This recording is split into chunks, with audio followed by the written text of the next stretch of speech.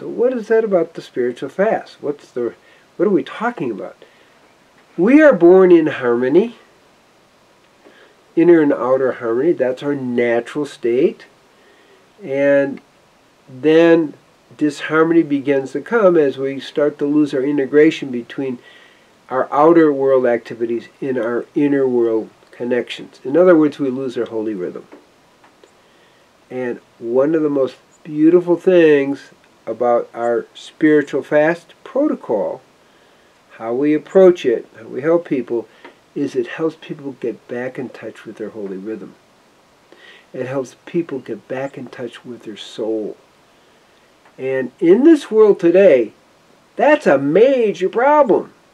Because more and more people, with the, the craziness of the world, are losing that touch with their soul.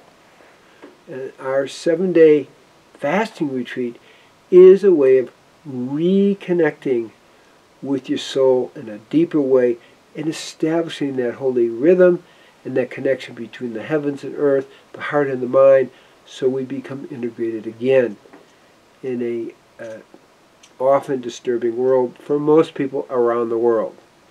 So we invite you to this special experience of our spiritual fasting retreat in Israel. And may you be blessed that you are able to reconnect more deeply to your holy rhythm and to the truth of who you are. Peace be with you.